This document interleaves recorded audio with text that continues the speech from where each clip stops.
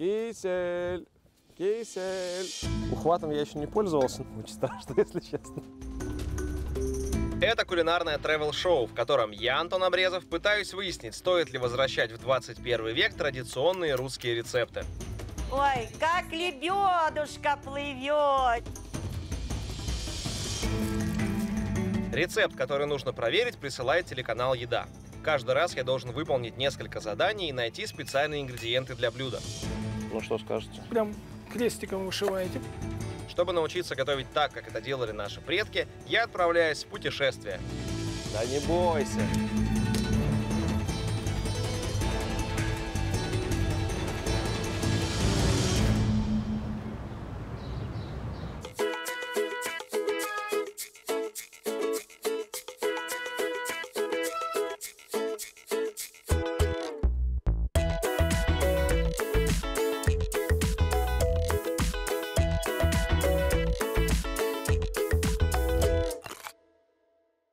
Итак, у меня в руках новое задание от телеканала «Еда».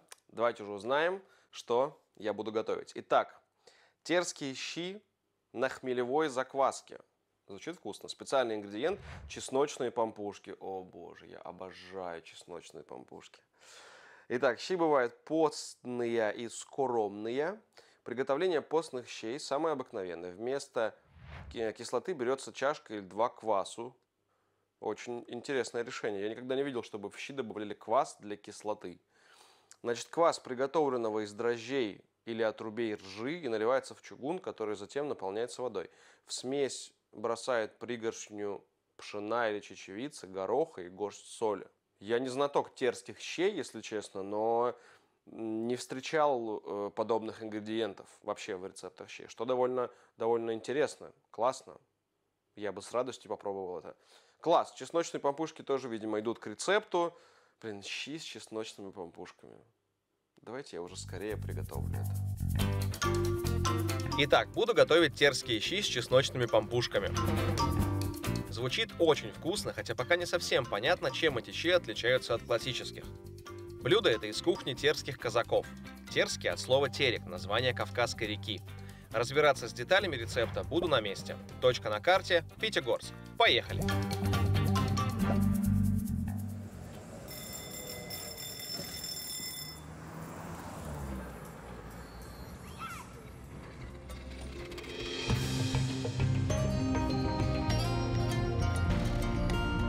Пятигорск – город-курорт в Ставрополье. Еду сюда с особым чувством, потому что сам родом из этих краев. Первые 18 лет своей жизни я прожил в Ставрополе. А вот в Пятигорске был только проездом. Этот город знаменитым сделал Лермонтов, когда поселил сюда персонажей героя нашего времени. Сам Михаил Юрьевич погиб в Пятигорске на дуэли, так что имя его здесь повсюду. Как и разнообразные полезные для здоровья источники. А еще в Пятигорске, как в любом южном городе, любят вкусно и сытно поесть. Так что тут точно найду, что попробовать. Пятигорске обязательно надо пробовать нарзан. Здесь мне рассказали одну из версий легенды, как появилось это название. Был такой богатырь Нарт, который защищал горцев. Он поднялся на вершину горы Эльбрус, чтобы победить чудище. Оно его схватило, приковало и долго мучило.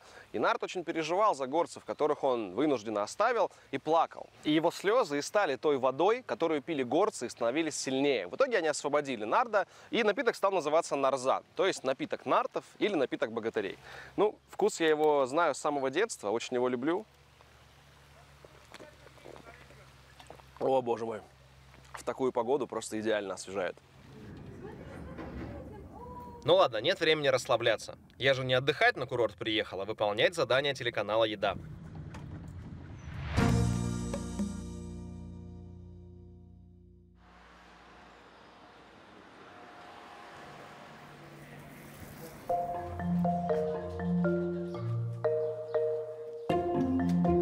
Для начала я решил заехать на рынок, найти все нужные ингредиенты.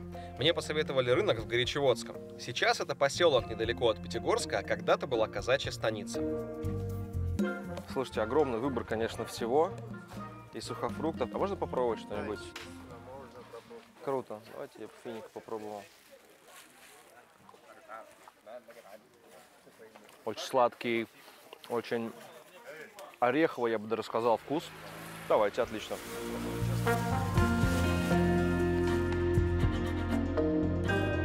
С овощами трудностей не будет, это точно. Но вот проблема, нигде нет нужного мне для приготовления терских щей кислого кваса. Придется применить смекалку. О, это алыча же зеленая, да? А еще сезон идет? Да, покрупче. Да? Я ее очень люблю. Слушайте, какая сочная. Да, Посоветовался с местными. Кислый квас порекомендовали мне заменить, неожиданно, на алычу. Короче, зеленая луча реально уникальный продукт. Он есть только на юге, его иногда поставляют по всей стране. У него супер короткий сезон, наверное, пару недель. Очень специфическая штука, похожа на зеленое яблоко или зеленый помидор. Просто не передать слова. Она как сочная, как виноградина. Фантастика. Давайте, отлично. Класс. Обожаю рынки, если честно. Такие яркие овощи, красивые, супер свежие все. Спасибо. Мне, мне на- Сколько перец цена подарила. Спасибо большое. Спасибо. Вот за это я люблю э, южные рынки. Все, хорошего дня вам, до свидания.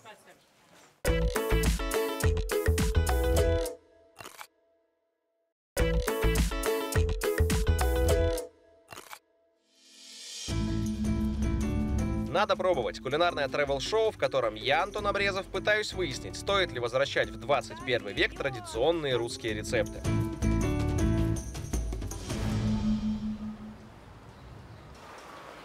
Сегодня я в Пятигорске собираюсь готовить настоящие терские казачьи щи с чесночными пампушками. Ну что, теперь пора выполнять первое задание – изготовить тарелку для подачи щей. На Северном Кавказе производство керамической посуды – традиционное ремесло. Глины тут много. Смотрите, маски какие. Поможет мне с выполнением задания мастер Александр Костюков. Надо сделать тарелку для щей. Можете ли вы мне с этим помочь? А умеешь, да, работать с глиной? Ну, вот если бы другой человек спросил у меня, а не вы, я бы, конечно, сказал, да, умею. умею, практикую. Но вам я скажу, что нет, скорее не умею. Я, я когда-то работал один или два раза в своей жизни с гончарным кругом, но я бы не назвал это умением делать что-либо на нем. Ну, память в руках-то осталась так. Думаю, что да. Вот эти волнистые Память все мышц. стаканы и тарелки. Попробуем. Казаки считают, что щи правильнее есть из настоящей аутентичной глиняной тарелки. Говорят, так вкуснее. Еще один важный нюанс размера этой самой тарелки. Это нормальная порция Это щей. нормальная порция щей. Вот представь себе поле. Вставится среди поля такая миска, насыпается туда картоха там или щи. Садятся вокруг мужики, все это дело, ой, невозможно. Давай, давай работать, давай работать. Меня получается? Замечательно. Бросаем я на середину круга. Чпокс. Ну, вроде крепко стоит. Ну, давайте. Сжимаем, сжимаем, сжимаем, душим. Можно я буду представлять себе продюсеров э, моей программы? Тяжелая задача, если честно. То есть нужно прям усилие. Она кривая! Она кривая, она убегает. Это катастрофа. И смотрим, что у нас получилось. Замечательно вообще, супер миска. неплохо получилось. Супер ну, конечно, вы мне миска. помогли. Но тарелку надо с гончарного круга еще снять. А как это сделать, не повредив? Берем струну, натягиваем ее так, заносим сзади и прижимая большими пальцами к поверхности гончарного круга, срезаем все это как швейцарский сыр. Говорят, такой же струной его режут. Это правда, похоже на сыр. Ну, классно же. Это просто замечательная работа.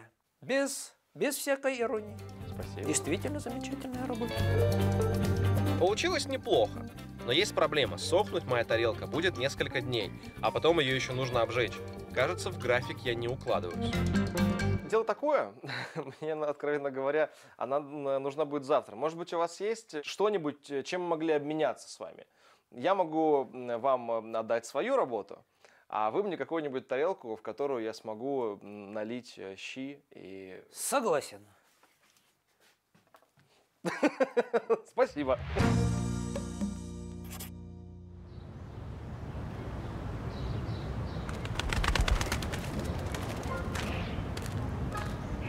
Здесь мне точно должны помочь с пампушками. На территории бывшей Горячеводской станицы и сейчас живут очень много казаков. Их когда-то переселили сюда с Волги в наказание за участие в восстании Емельяна Пугачева.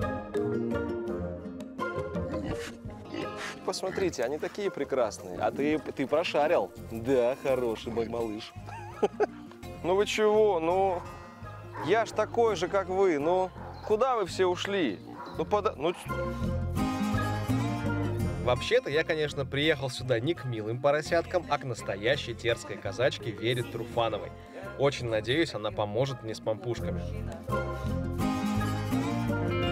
Правильно ли я понимаю, что это такое, э, как бы, самая частая комбинация? То есть именно пампушки чаще всего подавали к терским щам? Да-да-да, потому что пампушка с чесноком, она усиливает аппетит при О, еде. да. Вот. Если честно, я обожаю чесночные пампушки, особенно свежеиспеченные. Вот сейчас говоришь, да, и прямо так Да, да, да. сразу слюнки Э, потекли. супер. Смотри, это у нас вот такое вот месиво, да, бери ложечку. Это похоже, Ну, на, давай угадывай, что это такое. честно говоря, на закваску как будто немного похоже. Да нет, Ну, это Кажется, какая-то... не закваска. А, это отруби. Это отруби, А да. можно, а можно же, да, их есть? Да, конечно, конечно. Это э, Это пищевые, это не то, что мы козочкам своим даем. Давай э, дрожжи, дрожжи уже не нужны, они свою работу сделали, э, попали в нашу опару. А, я понял. То есть это как бы закваска такая. Ну да, своего рода, да, просто это так и называется, хмелевые дрожжи. Вот шишки хмеля э, мы разбираем Да. на чешуечки, заливаем полутора литрами кипяточка и варим Да. минут 20. Сутки где-то они вот стоят, э, появится сверху как пена. Тогда можно добавлять остальное. Меда полторы столовых ложечки, отруби, отруби мы ржаные добавляем, Мгм. чтобы у нас действительно был э, полезный хлеб, вкусный и не такой, как э, продается в магазине. Согласен. Хлеб на такой хмелевой закваске, оказывается, терские казачки пекли постоянно. Я раньше такого рецепта нигде не встречал. И уж тем более не добавлял в хмелевую закваску отруби. Да, это очень вкусно. Я Да, ну буду вот. теперь чаще использовать хмелевую закваску. Мне очень понравилось. она. Ну и как бы дешево и сердито, да? И потом знаешь, что это намного полезнее. Я, собственно, тоже э, буквально сегодня, можно сказать, обнаружил э, свои э, корни в, в терском казачестве. И выяснилось, что мой, получается, прапрапрадед, он был атаманом Пятигорского отдела Терского казачьего войска. Это вообще приятное ощущение, когда удается найти какие-то свои корни, откуда ты родом, Бесспорно. какие традиции. Так что я практически как дома себя чувствую. Думаю, достаточно. Давай подсыпай под низ мучицу, накрывай полотенчиком и дадим ему э, отдохнуть. Пампушечки, они кругленькие, вот такие небольшие булочки, да, у нас получатся. Очень мне нравится печь м, маленькие пампушки. Пампушкам мы дали отдохнуть, чтобы они немного поднялись. Теперь им пора в печь. И тут еще одно ноу-хау от терских казаков. Кладем пампушки на подложку из муки, чтобы не подгорали. Жарковато, да? Ну, как в бане. Вообще первый раз такое вижу, себя-то я со стороны никогда не видела. Оказывается, зрелище довольно такое экзотичное. Ровно хватило, просто Да идеально. молодечек, ну видишь, глаз как алмаз. Просто и не говорите. Пампушки будут печься минут 20, а мы с Верой Федоровной пока приготовим чесночную заправку. Мелко-мелко рубим чеснок, добавляем масло и укроп. Все это надо тщательно растолочь в кашицу. Вообще необыкновенно. Это такой запах, вот стоять даже рядом. И Хочется прям ложкой. Хочется уже, да, просто есть ложкой. Просто идеальное сочетание. Пампушки готовы. И, кстати, мука помогла, не подгорели. Осталось только обмазать их сметаной и чесночной заправкой. И еще нужно накрыть пампушки хлопчатобумажной тканью, чтобы они лучше пропитались и остались мягкими. Аромат невероятный. Очень яркий, приятно. Просто аплодирую. Благодарю Люба, вас. Люба, Люба. Люба, молодец.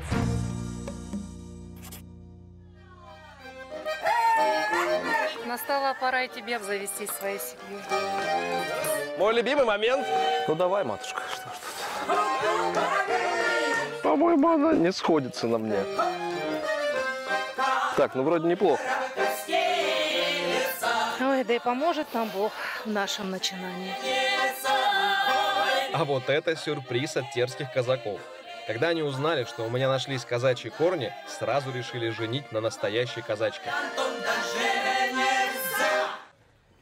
Затасковал, замаялся сердечно. И не ест, и не пьет наш удалец. Исхудал, истрадался наш молодец. Все мечтает ту лебедушку найти. Сынок, она тебе снилась. Ну, я пошел. Нет, подожди, подожди. Она тебе снилась. Ты глянь, какая Страшно красотка. Нет, ну, похоже. Э, Помню, загорелая была. Да. Смотри, какая у нас Джекпот. невестушка. Да, да. Свадьба, конечно, не настоящая, театрализованное представление. Тем более, что у моей невесты, говорят, имеется муж. Да и меня дома ждут, надеюсь. Но выглядит все очень убедительно. Запевай песню свадебную.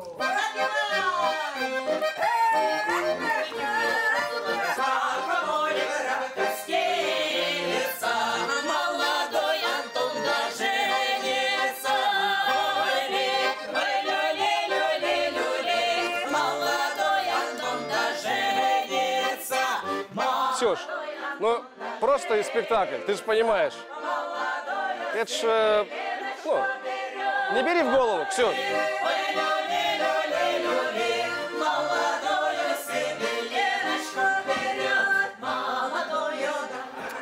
Это довольно специфические ощущения.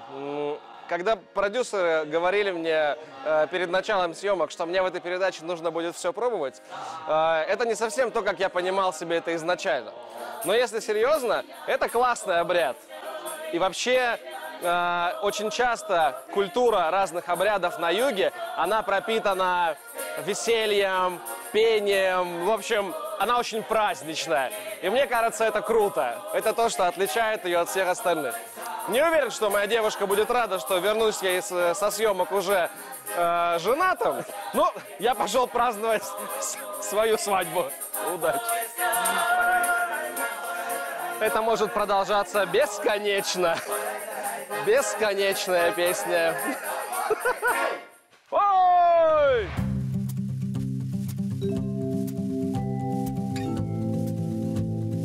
Наконец-то.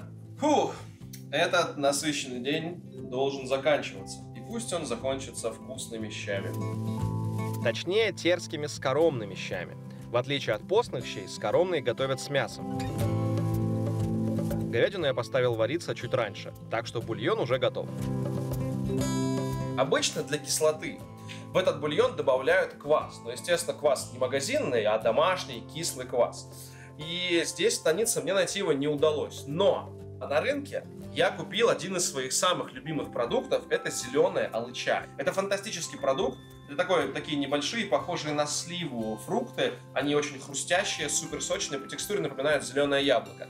И мне сказала Вера Федоровна, что эту алычу тоже использовали в терских щах для окисления. И, в общем, все сложилось само собой, поэтому вместо кваса я буду использовать вот эту алычу. Сначала я положу алычу э, в мясной бульон, чтобы э, алыча хорошенько разварилась и дала мне кислый вкус. Я, наверное, упрощу себе задачу и не буду вынимать предмет на косточку, а просто вот так крупно ее нарежу. Ее в смысле алычу, то есть как бы обрежу э, косточку вокруг. Мне кажется, так будет гораздо быстрее и проще. Алыча готова. Теперь нарежу остальные овощи, чтобы уже дальше можно было быстро с ними работать. А, начнем с лука. Жаль, что в рецепте не указана э, последовательность того, как нужно закладывать продукты. Вообще часто мне дают не очень подробные рецепты, мне нужно самому догадываться, как же э, люди готовили несколько столетий назад. Поэтому, итак, первым делом точно нужно закинуть туда алычу, и мне кажется, пшено, оно будет вариться чуть дольше. Да, вот еще важный момент. В классические терские щи нужно добавлять пшено. Ну или любую другую крупу. Когда этот рецепт только появился, картошки у казаков не было. Но с крупой суп становился гуще и сытнее. Ну, поехали. Тяжело. Блин, вот будет смешно просто уронить его и завалить. Как вкусно пахнет, друзья. Бульон кипит. Бульон хороший. С приятным таким слоем жира сверху. Говядина проварилась. Достаю ее, а нарежу чуть позже, когда немного остынет. Пока добавляю в щи пшено и алычу. Режу помидоры и капусту.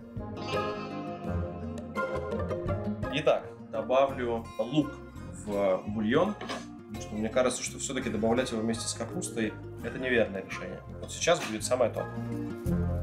Есть в терских щах еще один очень специальный ингредиент – мука. Немного муки. Опять же, в рецепте не указано, сколько именно. Ну, добавлю, ну, я не знаю, ну, пару столовых ложек. Я думаю, что больше это уже перебор. Мука делает бульон еще гуще. Нарежу чеснок такими кольцами. Мне кажется, для щей терских самое то.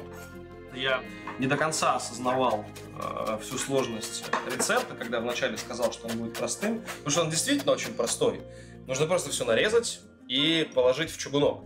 Только резать нужно очень много и очень долго. Осталось только нарезать мясо. Все, теперь в этот э, бульон пока еще я отправляю все содержимое этой красивой тарелки. Все, я теперь кипятить э, снова не буду мой суп прекрасный, потому что иначе все совсем разварится. Я думаю, что вот так достаточно. Я не знаю, насколько густыми любят терские щи э, местные, но мне кажется, вот, вот так достаточно. Финальный этап. Нарезаю мясо, верну обратно на чугунок, добавлю соль и суп готов. Суп настоялся, говядину я нарезал. Иду за чугунком, приношу его сюда и завершаю суп. Я устал его таскать, ей-богу.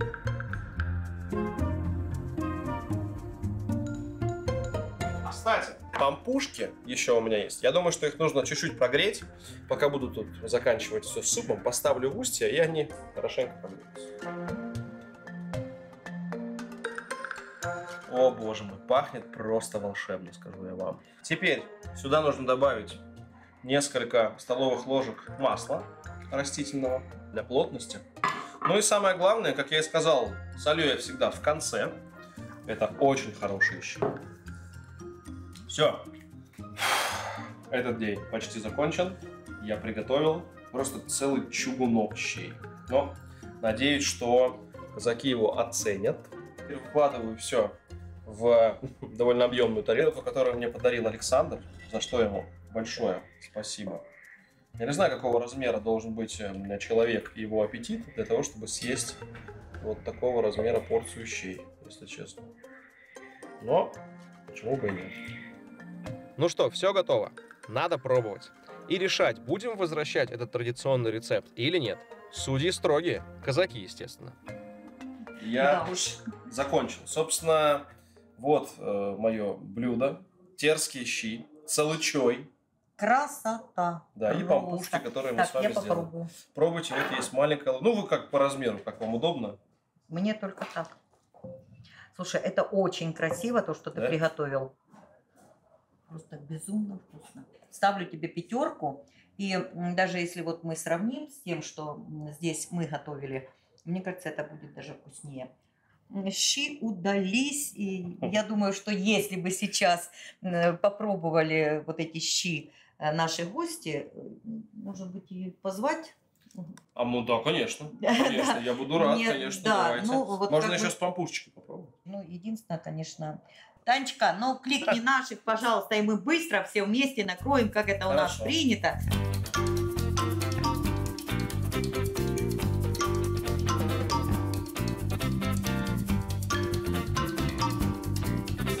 Ну вот, теперь повеселее, да? Ну, намного, Согласись? намного. Поинтереснее стало, За таким конечно. столом как-то интереснее более сидеть, нежели с одними щами. Да. Так, ну и теперь оцените, вот как Антон Сказочно. наш приготовил. Сказка, Просто Да? бомба. Необыкновенно. Насколько вы считаете, этот рецепт может считаться современным? То есть я, я так понял, что сейчас так не готовят э, щи. С пшеном, с капустой. Ну да. Просто когда появился картофель, естественно, он заменил м, тоже пшено, и насыщенно, и вкусно. Но я считаю, что это блюдо имеет право быть. Да. Потому что разнообразие. Да, у нас, собственно, э, передача называется у меня «Надо пробовать». И основной вопрос, который я себе ставлю, рецепт, который я готовлю, надо ли его пробовать, надо ли его возрождать и готовить дальше. Потому что часто... Надо, надо, надо. Я очень понравилось. Вас безумно интересно. Спасибо вам за гостеприимство. Я получил глубокое удовольствие за то время, которое я провел в вашей компании. Что ж, считаю, что с заданием телеканала «Еда» я справился. Рецепт терских щей с чесночными пампушками возвращать надо однозначно. И вообще, поездка в Пятигорск мне очень понравилась. Тем более, как выяснилось, сам я на какую-то часть терский казак. Здесь я нашел несколько новых для себя кулинарных лайфхаков. И жену. Шутка, конечно, только лайфхаки. Так что всем рекомендую ехать в Пятигорск. Здесь вкусно и весело.